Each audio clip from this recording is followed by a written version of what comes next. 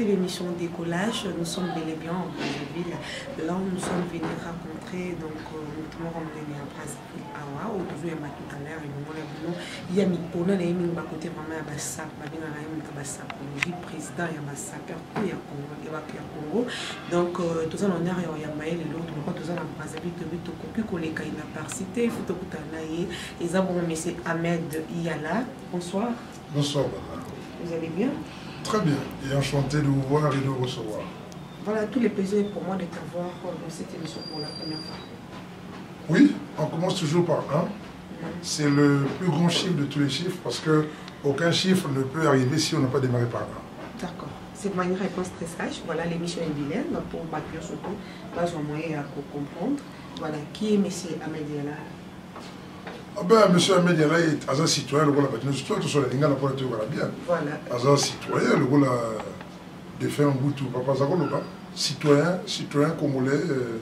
Brazzaville, euh, RDC, voilà. Voilà, merci beaucoup. Et qu'est-ce que tu as pu faire euh, certaines filles Pardon eloko nde esalaki esepesaki mpona kozala saper ozala makambo ya sapologie bon saper déjà eloko moko ebapona yango te basubir kango hmm. na marke nini parce que sape elingi oloba kolata kitoko Or que moto nyoso tout na mbongo oyo asalaka eza na kana manière mibale ezongelaka moto. Soit osombi lia bien mpo nolia, soit osombi lo bilalo bilamba ya bien olata. Kaka biloko mibale oyo ezongaka na nzoto na biso selon mbongo na biso. Et puis sape ega la propriété donc moto tout fois azala propre. Donc voilà donc sape eza eza exigence ya moto nyoso tout. Voilà, le 8 mars, euh, euh, passé, donc euh, tozalaki na événement mobile le 8 mars, le 8 mars yango yango obengisaki bato ebele ezalaki bongo euh, festival ya euh, huitième édition ya psychologie féminine si je ne trompe pas deuxième édition voilà deuxième édition ya psychologie féminine si je ne trompe pas oyo obengisaki bato bautaki balibanda bayaki na nyonso awa bayaki mpona kocélèbre événement wana elekaki ndeni elekanaki bien eza événement soki osali événement lokola oinvite euh, bato bato bautaki bamikili nyonso tout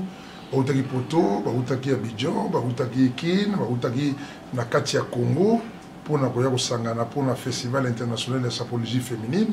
tobe yango sapologie féminine mpo na nini parce que en fait euh, biso mibali toyiba sape epai ya basi kolata Beaute esthetique kimonzele ezali d'abord ya basi avant ezala ya mibali. Il se passe que sikoyo biso mibali sikoyo todiembela nango. Alors donc esala biso moi quand même moi euh, pincement de cœur euh, de moi malhonnêteté wana. Mm. yango wana na pensaki te il fallait to créer festival wana mpona tozongisa place ya bamama parce que bamama mpona babeta bafone na bango yango wana tokeyaki Festival international de la sapologie féminine ezali espace mpo na basi baya kolakisa biso kimonzele ya basi na kati ya sapologie bato bayaki ebele olojaki bango osalaki bango makambo na nyonso wana oganyaki nini parce que mpo obimisa eloko fo ozwa mpe retour parce que odépensaki ebele bato bauti bakishasa bauti bamboka ebele bayaki na motu na yo yo nde olojaki bato olojaki basaper ebele na suka nango okanini ntango okende excusez-moi ntango okende na église nzambe asengi biso ke linga ndeko na yo moninga lokola yo moko n'est-ce pas ntango okabaka ye ozwa nini oza na espoir na elikya oyo nzambe alobi soki osali bolamu nzambe nde akorekompense parce que récompense ya nzambe nde eza meilleur eloko nyonso tu basalaka ti na intérêt na marque te napesa na gauche mpona nazwa na droite te nalobi nao d'abord keyaki souci le fait ngai nalingi sap naza sapeur et namonaki basi bazalaki un peu mis à l'écart alors que eza d'abord affaire na bango donc nakanisaki te efandi napesa bango siko possibilité wana et ya mibale c'est vrai que ni niveau ya manifestation etone yo mais yeba que balobi eloko ya talo ezalaka te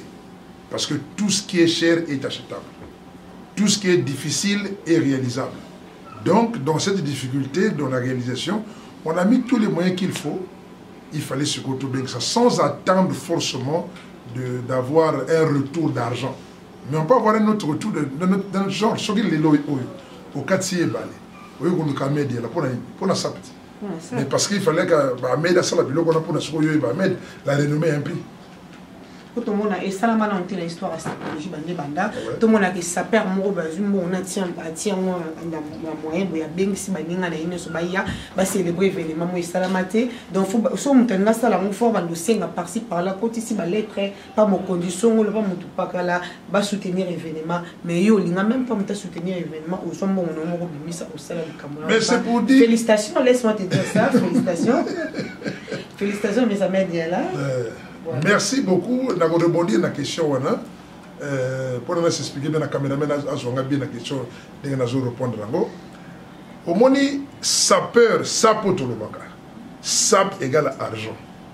Pour nous lata malamu. Faut ça mbongo.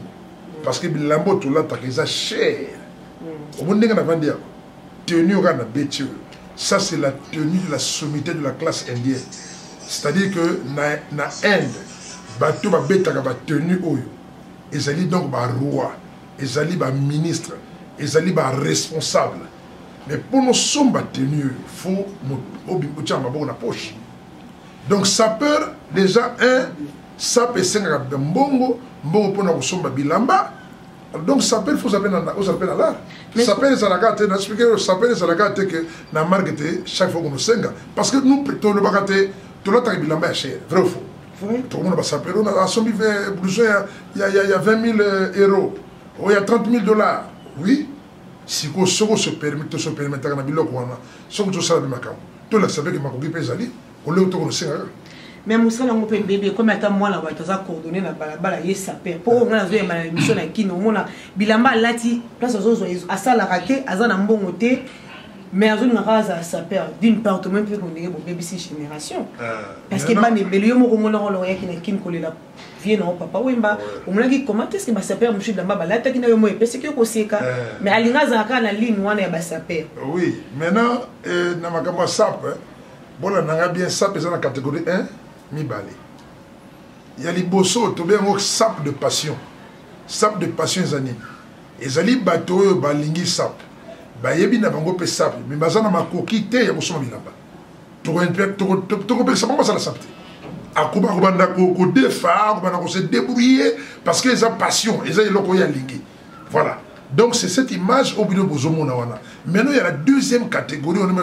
ba grand sapeur les sapeurs les sapeurs euh, les sapeurs bourgeois les sapeurs qui ont l'argent parce que ça c'est la vraie sape donc mon moto donc il sape le corps il sape d'esprit, il sape de boulot, il sape de maison, il s'appelle de véhicule, il s'appelle... Donc, sa vie est conditionnée dans le bien-être. Ça, c'est faut avoir les moyens pour le faire. Mais tout le monde n'a pas ces moyens de le faire. c'est comme si tolobi nga so naliaka soso mama ese nako na impose otika kolia mpiodi na yo kasi biso tokolia ndeko na basaprere moto na moto akose débrouiller selon vie na ye selon makoki na ye selon bozwi na ye tokopekisa ye te mais entre temps basala baeffort mpona baévoluer Voilà, merci beaucoup. C'est vraiment une réponse très sage. Tous les gens, nous avons deuxième édition ya festival ya sapologie féminine tomonaki na baimage euh, oyo eyaki na biso na kishasa kuna avant festival ebanda yo na papa wemba bobendanaki pembeni bosimbani ozoyebi biso makambo ya litoi makambo nini alobelaki yo mpo tomonaki te ye loyaki kolela ye donc ondire eloko moko bozalaki na kati eloko nini ayebisaka na litoi ntango ozopose nga question cameraman eyelanga ntango ozopose nga question esanga chair de poule quand on parle de papa wemba elekelanga parce que papa wemba aza tata nanga na age déjà aza tata nakobenga ye papa ya mibale ntango ngai nabandi kolinga miziki na bomwana na ngai miziki ya liboso nabanda kolinga yaki miziki ya zaiko enzembo encore ya ye c'est la vérité oyo yango oyo abetana ntaka zaiko wana biso oza na bana wana ndenge nazo kodécouvrir un certain papa wemba ya misato sikoyo na makambo ya kolata ni makambo ya kolata esali ke biso na papa wemba tozani tosangana or ye na makambo ya kolata wana azalaki donc mokonzi na yango moto asali soki sap lelo bazolobela sap na monde c'est parce que papa yemba azwaki micro na ye ayebeli sap apousse sap parce que papa yemba azalaki l'un de plus grands sapeurs du monde il se passe que le 8 mars wana mpo na nini nabengisaki mokili mobimba parce que na cadre ya sap tokomaki na niveau le plus élevé ya batenue ya sap sap egal à argent sap ebanda na bacostume eleka na bablouson eleka na biloko mosusu me ntango sap ekóma na bablouson ya crocodile na ya piton mama kuna ekóma so okomi kuna se kozwa na mbongo parce que blouson moko kaka ya crocodile ekutaka 70 000 dollars blouson moko 70 000 dollars imagine yo ozwa 70 000 dollars na yo okono pesaka mpo nozwa blouson 1 moko il faut okoka ngo d'abord hein? maintenant sikoyo ye aya na brazzaville aye okuta suka ahmed sikoyo alati kroko kobanda makolo pantalon gilet eh, costume eh, torpete ti na sac e nabeti le même ensemble en kroko et en piton alobi je ne peux pas nakokaka monoko te parce que nga moko roi la sape nani namona makambo te namona mpe sapere na monde asala yango te yango aloba clairement na miso bato tout alobi amed oza le plus grand le plus grand sapeur du monde en croco et en piton abakisi bien en croco et en piton donc soki basapere mosusu bazalaka na bango danger na batisi na bango badebrouille na batisi na bango mais na makambo ya croco piton moto akoka na mede na monde aza te na monde basapere mpa na monde bakoki bato bozwi mpe bazali akoki mpe kosomba ngai naza na 12 ensemble en croco et en piton 12 alors que déjà kozwa moko eza problème ozo comprendre donc ye alobi kuna donc ye oza le plus grand le plus grand sapeur du monde donc ntango ayamba nga il était en train ako exprimer émotion na ye alobi na nga nazelaka yo na baforme tout parce que tosolo yango na paris mais nasimaginaka te komelaka na marco milika yo donc ezolikelaka donc mpo nayeki lokola mpe nsa moto ayebaka azokende yekolaka cadeau na ye mpona vivre que nazokende natiki sikoyo le petit na nga le plus grand sapeur du monde en croco ya piton epuis se ngai ya tembe te soki moto atie tembe na med yala na kroko na piton boloba na ye amed aza na 12 yo bisa biso 13 sikoyo nazoloba no 13 mekoti deja 13 mekoti deja mais bambongo wana osusu kosangisa ngo ozala ata na ba 50 parcelle mais poko olingo investir kana bilamba kena place osomba no bamapango merci sikoyo awa lokola oya ozalaka za ndako te ndako wana na locataire zali na face wa o bâtiment étage en face wana bâtiment étage balopango ezali babâtiment ezali sikoyo ndongo nakolekisa vi nayaka nakolosomaka balopango nakolotongaka donc sikoyo ngai moko me ndako wana ezanga te ndako ezanga te ngai ngai oyo amed yala mbongo na ngai na nzoto na ngai soki nalati te nale bo sikoyo ndongo olingi nalia te nalata te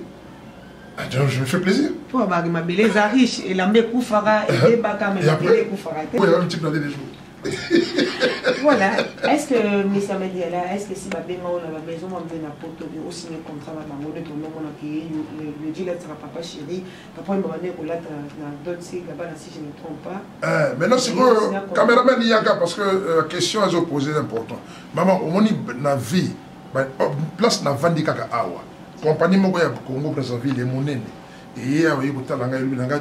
tolingi osala publicité na biso natuni bango ese koza na bongo mm. parce que kotelemisa moto monene lokola nga naya kosala publicité na yo donc oh, déjà soki nalatika blouson moko ya kolokosa kutu 45 million mpo naya kosala publicité na yo soki opesa bango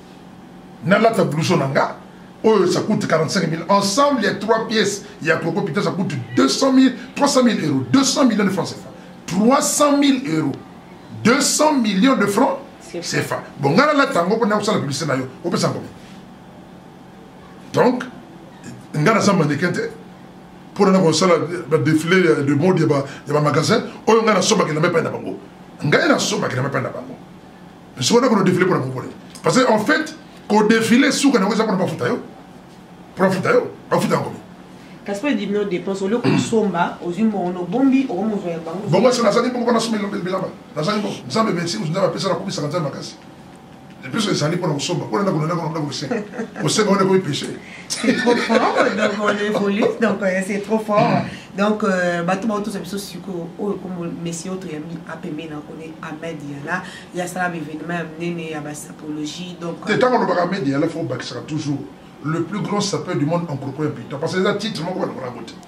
mais bato ebele mpe bazoboya titre yango mais yango na explike yo te mama mm. omoni sikoyo c'est bien okoboya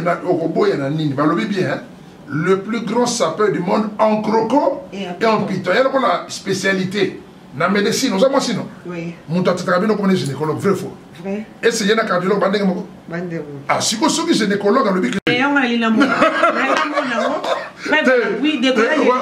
wana tika mokolo ekobima kaka parce que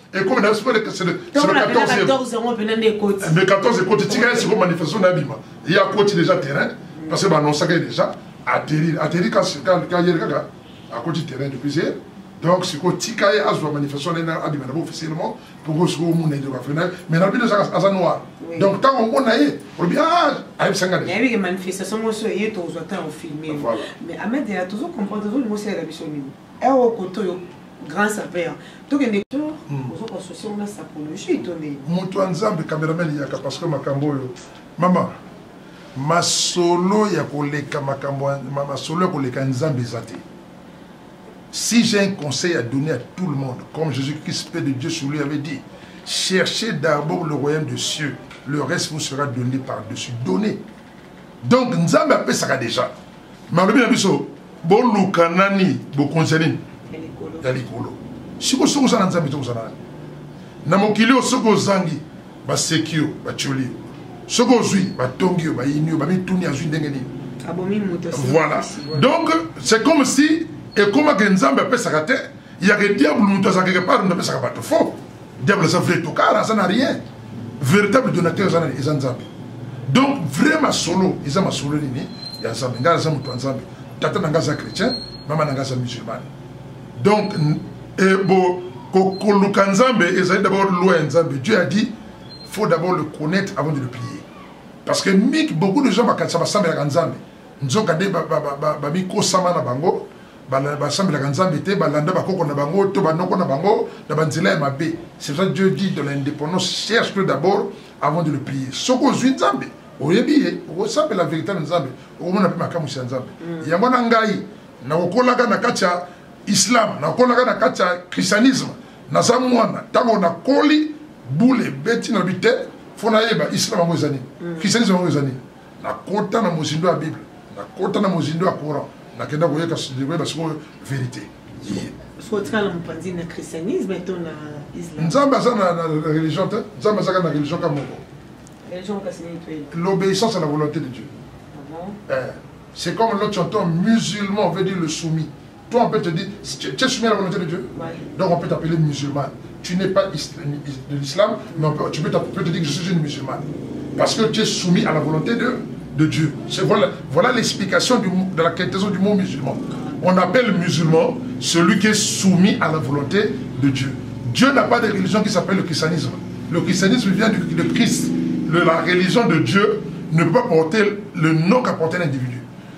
Le judaïsme, c'est le nom de Judas. Le judaïsme, c'est pas la religion de Dieu. Ça, c'est le nom des gens. C'est-à-dire que, bato bakomi ba fanatique ya banani ya baprofete bakomi se lokola bayebaki moïse bakomi na juda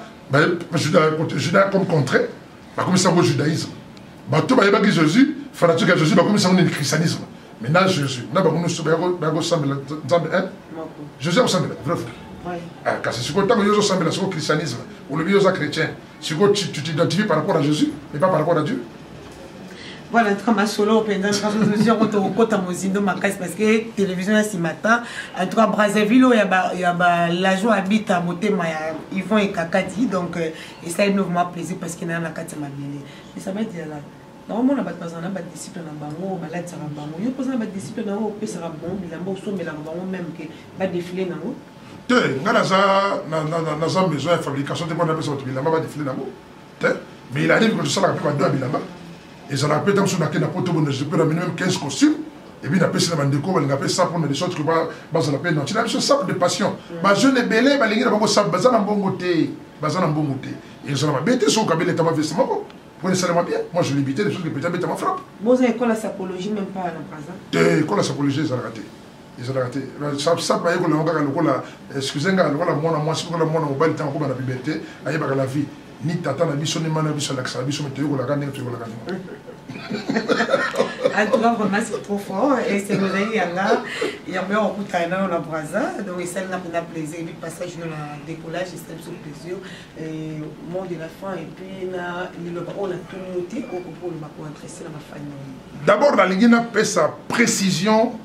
est très important tokolongola yango te parce que eza important omoni ntango na cité awa bandeko na ngai bajibe bawela bapapa yomba bakester bakofi olomide ainsi de suite nalobi na yo c'est un exemple typique omonte kese baza bato makasi n'est-ce pas baza mpe na bamoyen baza makasi mais nano namoni te na kati ya bandeko na ngai wana motu moko abisi blouson ya crocodile mpo na kolakisaka baoyo basusestime bakanisi ke crocodile eza blague mpo na mona kaka kategorie ya bato wana na bambongo na makasi eza na bango mais baza nango te c'est pour nous montrer que c'est difficile voilà c'est pas pour sous-estimer parce que moto mosusu ntango akoyoka ngai akozwa ngo na ndenge akreche mabe pour dire no akreche te napesi exemple bato wana baza makasi donc blouson ya crocodile basakana yango te na piton te donc ça c'était un ya mibale c'est pour dire que si on va se retrouver toujours par rapport à la sap sap eza bitumba te